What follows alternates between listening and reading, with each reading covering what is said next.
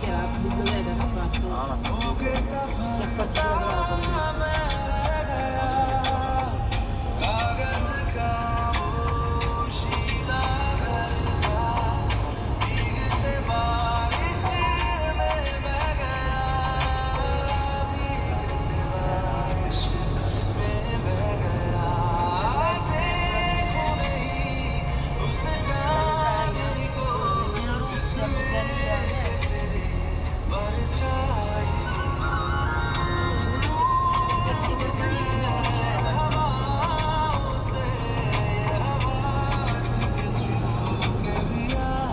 con una persona gli piace più